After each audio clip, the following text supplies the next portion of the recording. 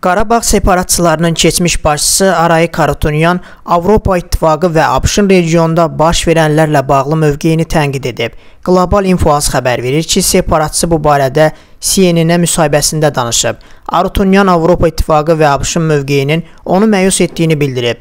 O, dolayı yolla Azərbaycanın geosiyasi mövqeyi qarşısında İrəvanın və separatçıların aciz durumda qaldığını etiraf edib.